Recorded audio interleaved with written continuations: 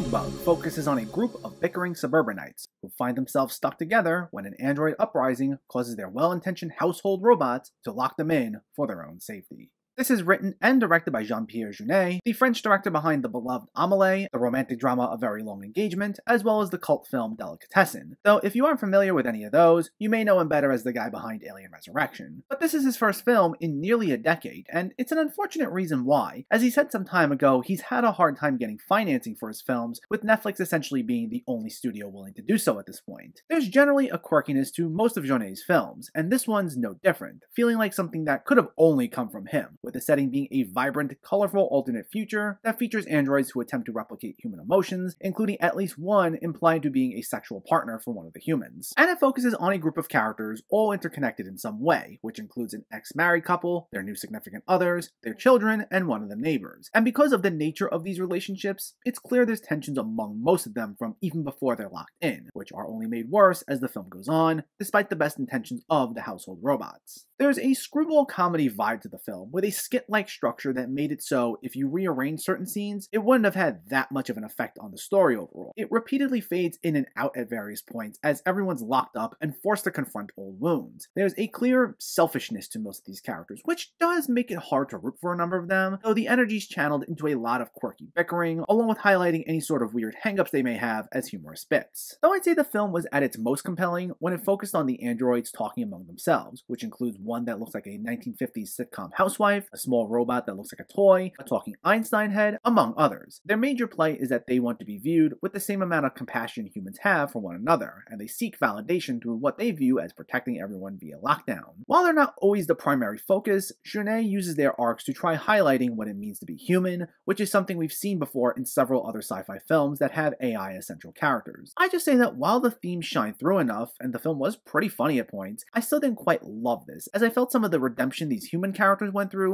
didn't feel earned, as a lot of them retain the same unlikable though humorous characteristics through much of the film, only to have a change of heart at the last second due to a somewhat abrupt third act. On top of that, the skit-like nature does lead to some solid moments, but with this being shot at the height of the COVID-19 pandemic, it's clear there were limitations as far as what could be done. And that's especially a shame considering we had a quirky, unique little world to play around with, but it kept things mostly confined to the house. Our only other major exploration of this world were cutaways to TV programs, including most notably frequent cuts to a popular game show that shows humans humiliating themselves for money and I wish we got to explore this setting more, especially given this was nearly two hours, which I don't think was justified to be set in the house for as long as it was. But still, despite not living up to its potential, Big Bug is a welcome return for Jean-Pierre Jeunet. It's a strange, quirky film that might not have the easiest characters to root for, but it uses its setting to explore themes of what it means to be human, sometimes in pretty funny ways. If you like stranger comedies, or if you're a fan of this director, I'd say you can't go wrong with it, even if it isn't great.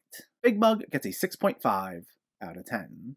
So let me know, did you see Big Bug or are you planning to see it and what were your thoughts? Did you find it to be funny? Do you want to see more from Jean-Pierre Jeunet? Let me know in the comments below so we can discuss. Also, if you enjoyed this video, please give it a like and share it. And for more movie reviews and film discussion, please make sure to hit that subscribe button to stay updated. Thanks for watching everyone and keep having fun with film.